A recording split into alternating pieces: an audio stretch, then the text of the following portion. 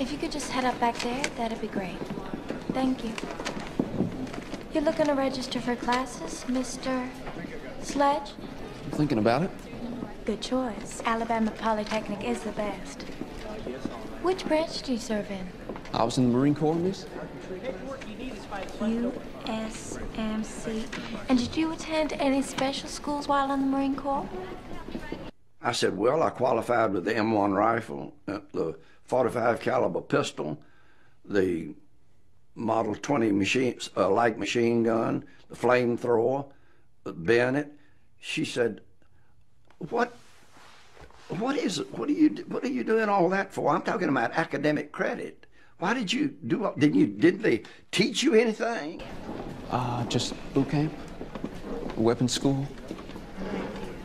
I was in a mortar squad. Okay. Did you do any accounting? No, miss.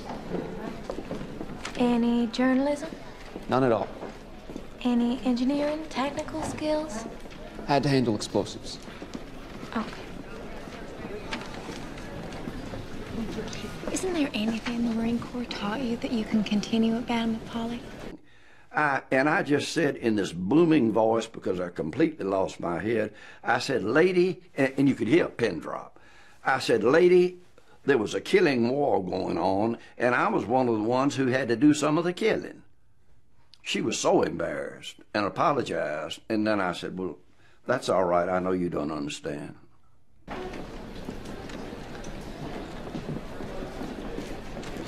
They taught me how to kill Japs.